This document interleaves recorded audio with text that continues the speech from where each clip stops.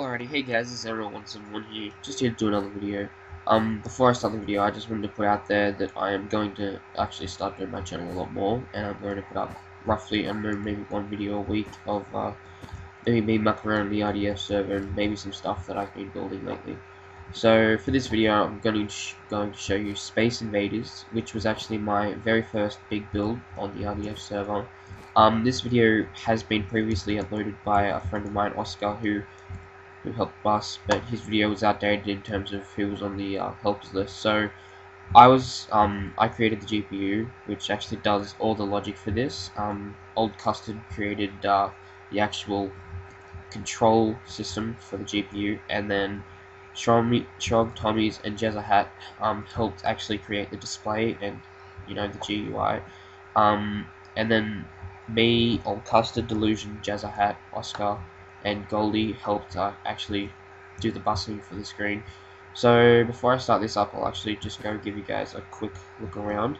Now, um, this one is in single players where uh, Oscar's wasn't. So this is the bit that Old Custard created, which was the orange wall.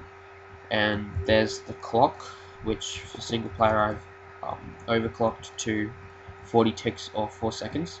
And then here's the random number generator for random enemy spawn. And then this lump of colorful rainbow awesomeness is um, the actual bus here. And then just underneath that little layer, underneath that grey wall, that's about five blocks down, that is all the logic, which is the GPU.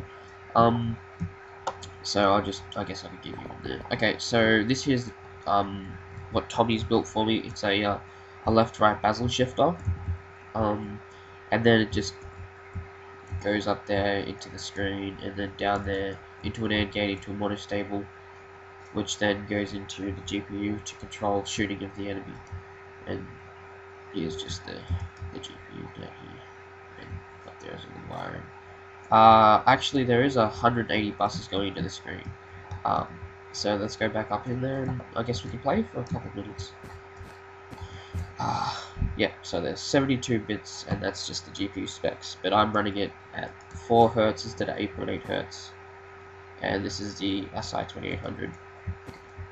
So let's shut the door, uh, we click F1, and go into our lovely view, and we shall start the game. So to start the game, you click on, and new game and then we just wait a little while and they should start spawning and I'm going to lag because there's a lot of updates going on. And I'm on my laptop so you guys can probably hear my fan dying because it's a shit shit fan. And there you go there's our very first enemy. So we'll wait until about then we'll turn the random number generator on and we can get random enemy spawnage uh, so basically the RNG, yeah, the RNG just makes it so there's not a constant constant value at the uh, very first uh, data, um, data flip-flop. So here we go, and see, look at that, already working. Okay, so let's shoot one, huh? I haven't done that yet. Um, and I completely missed, there you go. And we'll shoot again, and completely miss. Oh wait, no, I got him. Ooh. Uh, you gotta love bus lag. Gotta love bus lag. Um, I can move left and right. Ah, that's you, in case you're wondering down there. Again. And they they go this way down the screen, then this way and down the screen, and they'll continue to do so until they go way down, and I don't know what that sound is for. So let's shoot another one. Huh, is the sound for them dying. Okay, um, so this Space Invaders um, is the second Space Invaders that has been built. Uh, the first one is by Tommy's,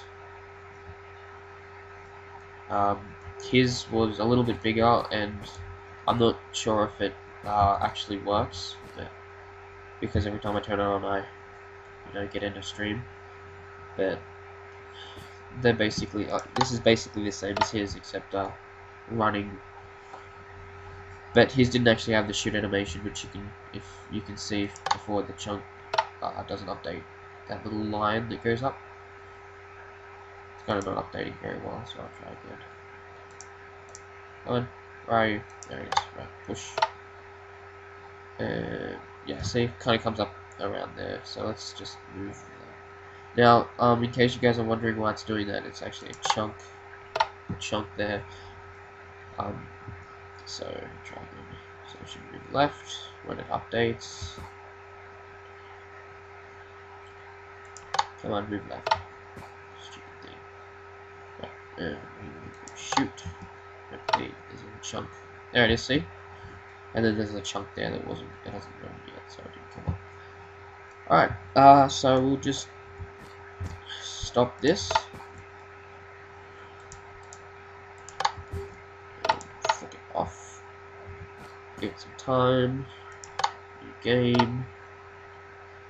Uh, it's got a pause feature, which currently isn't functional, but wouldn't be that hard. And in later versions, um, me and Allcast are going to add sound, alright? So, thanks for watching, guys. Um, rate, comment, subscribe. Uh, I might post this on Reddit because I want this to get some popularity up. Uh, if you guys want a schematic, uh, we should be able to do it because um, we've got the new server, and I, well, last night I actually copied the, the video I just did, which was a million blocks cubed. Um, so yeah, thanks for watching, guys. I'll see you later.